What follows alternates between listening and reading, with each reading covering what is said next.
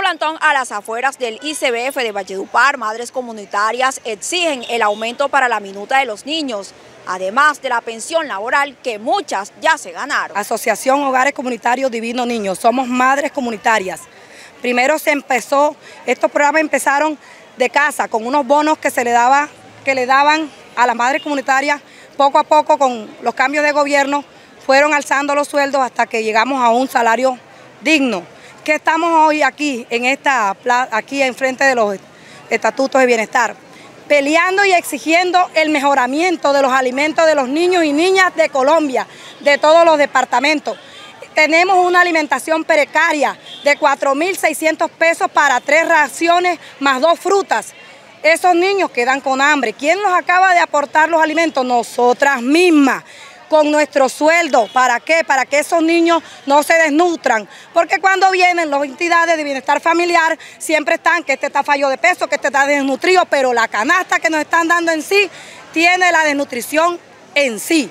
Por otro lado, estamos también peleando el sistema de las madres que están mayores, enfermas, con sillas de ruedas, cansadas de trabajarle al, Estado. ¿Por qué no pueden ser dignas de, de, una pensión en casa? ¿Quién dijo que no se podía? Si hemos luchado año con año, trabajado con una niñez, tenemos profesionales, tenemos médicos, doctores, abogados. ¿Qué pasa? Que esas madres ya necesitan un apoyo del gobierno, un, un, subsidio de un 95% fue dicho, que lo aprueben con escrito, no solamente con palabras. También tenemos la necesidad que a nosotras nos dan un, un, complemento para cada hogar. Hace siete años nos lo dieron. Estamos trabajando dotación, no tenemos dotación, todo se nos ha acabado. ¿Cómo trabajamos? Con esfuerzo, pidiéndole a veces a los papitos, pasando las penas con los papitos que nos ayuden para complementar gastos dentro del hogar. Tenemos, tenemos también una necesidad. ¿Cuál es?